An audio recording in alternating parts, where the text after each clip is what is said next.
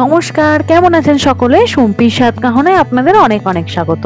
আজকে আপনাদের সাথে শেয়ার করব পনিরের একটা রেসিপি একদম ধাবা স্টাইলে পনির মশলা রেসিপিটা আপনি এইভাবে বাড়িতে বানিয়ে তান্দুরি রুটির সাথে বা নানের সাথে কাউকে সার্ভ করুন। সকলেই আপনাকে বলবে যে কোথা থেকে আনিয়ে আপনি খাবারটা সার্ভ করেছেন। একদম রেস্টুরেন্ট স্টাইলে বানাবো আর হয়ে যাবে ভীষণ তাড়াতাড়ি বাড়ির সমস্ত উপকরণ দিয়ে। চলুন তাহলে বেশি কথা না বাড়িয়ে চটপট রান্নাটা শুরু করা যাক। প্রথমে আমি এখানে নিয়ে নিয়েছি দুশো গ্রাম পরিমাণে পনির। এই পনিরটাকে আমি একটা বড় বাটির মধ্যে আগে নিয়ে নিচ্ছি। এইখানে আমি আমার হোমমেড পনিরটা ব্যবহার করেছিলাম। আপনারা চাইলে রেডিমেড পনিরও ব্যবহার করতে পারেন। এই পনিরটা আমি ছানা কেটে তৈরি করেছিলাম। আপনারা যদি সেই রেসিপিটা দেখতে চান, অবশ্যই কমেন্ট করবেন। এবার সেই পনিরের মধ্যে ছোট চামচের এক চামচ কাশ্মীরি লঙ্কার গুঁড়ো, এক চামচ হলুদ গুঁড়ো, এক চামচ পরিমাণে লবণ, এক চামচ গরম মশলা, হাফ চা চামচ পরিমাণে আদা রসুনের পেস্ট দিয়েছি। আদা রসুনের পেস্টটা খুব সামান্য ব্যবহার করতে হবে, নইলে পনিরের মধ্যে একটা কাঁচা গন্ধ চলে আসবে, তখন কিন্তু খেতে একদমই ভালো লাগবে না। ছোট ছোট চিপসের জন্য অবশ্যই চ্যানেলটিকে ফলো করে দিন, সুব্বির সাতকাউনের সাথে জুড়ে প্রত্যেকটা ভিডিও দেখুন, আশা করি আপনাদের অবশ্যই ভালো লাগবে। ভালো লাগলে একটা লাইক দিয়ে চ্যানেলের পাশে থাকুন। এবার একটা মশলা রেডি করে নিচ্ছি, তার জন্য দু চামচ পরিমাণে জিরে গুঁড়ো, এক চামচ ধনে গুঁড়ো, এক চামচ হলুদ গুঁড়ো, এক চামচ ঝাল লঙ্কার গুঁড়ো, আর এক চামচ পরিমাণে কাশ্মীরি লঙ্কার গুঁড়ো। জল দিয়ে খুব ভালো করে একটা মিহি পেস্ট রেডি করে রেখে দেবো।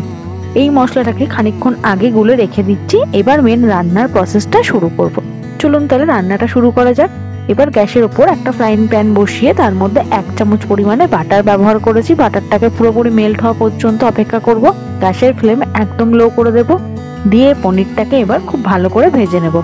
আপনারা যদি চান বাটারের পরিবর্তে সাদা তেলও ব্যবহার করতে পারেন। খুব একটা অসুবিধা নেই। তবে বাটারের ফ্লেভারটা খুব সুন্দর আছে আপনারা কে কোথা থেকে আমার ভিডিও দেখছেন সেটা অবশ্যই আমাকে জানাতে থাকুন। সুবিশ্বাস কারণে প্লে লিস্টগুলো ফলো করুন। যদি ভিডিওগুলো ভালো লাগে, একটা লাইক দিয়ে চ্যানেলটিকে অবশ্যই সাবস্ক্রাইব করে পাশে থাকবেন।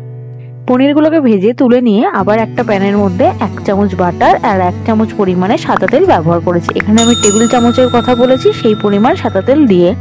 তার মধ্যে গোটা গরম মশলা ফোড়নে দিয়ে আর একটা তেজপাতা আর একটা শুকনো লঙ্কা দিয়েছি। আর সামান্য পরিমাণ গোটা জিরে দিলাম।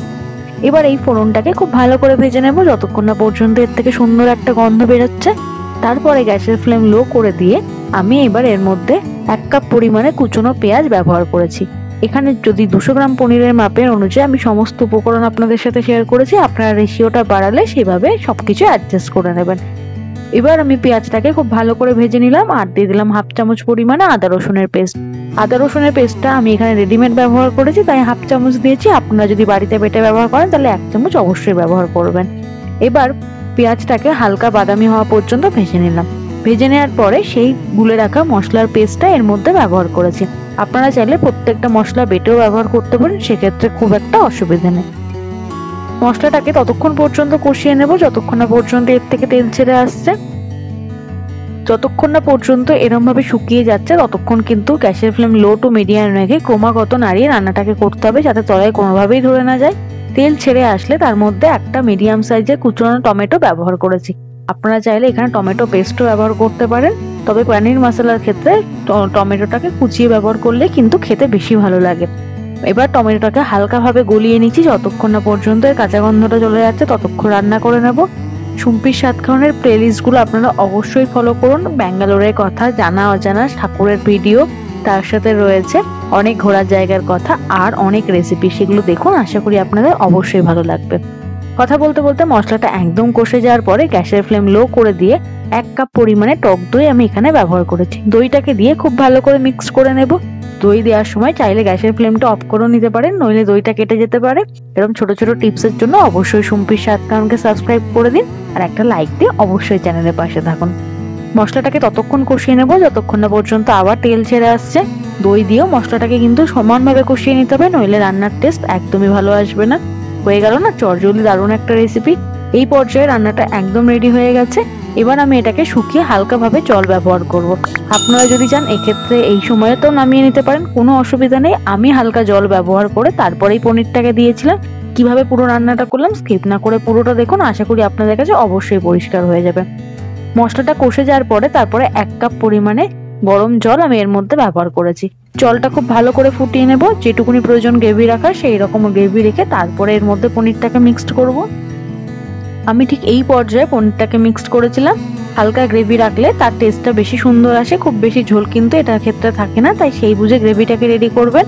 এই সময় একবার লবণটা টেস্ট করে নেবেন, যদি প্রয়োজন হয় সেক্ষেত্রে অ্যাড করতে পারেন। তারপরে দিয়ে দিলাম এটা ফ্লেভারের জন্য এক চামচ পরিমাণে কাসুরি মেথি হাতে ম্যাশ করে। এটা অপশনাল আপনারা চাইলে নাও দিতে পারেন। ঢাকা দিয়ে স্ট্যান্ডিং টাইমে রেখে পাঁচ মিনিট পরে সার্ভ করছি। আশা করি ভিডিওটা আপনাদের অবশ্যই ভালো লেগেছে। ভালো লাগলে একটা লাইক দিয়ে চ্যানেলের পাশে থাকবেন। সুম্পির সাতকানকে সাবস্ক্রাইব না করলে এখনই সাবস্ক্রাইব করে পাশের বেল আইকনটি প্রেস করে দিন, যাতে নতুন নতুন ভিডিওগুলো আপনি অনায়াসেই দেখতে পারেন। আজকে এই পর্যন্তই। দেখা হচ্ছে পরের ভিডিওতে সকলে ভালো থাকবেন। Thank you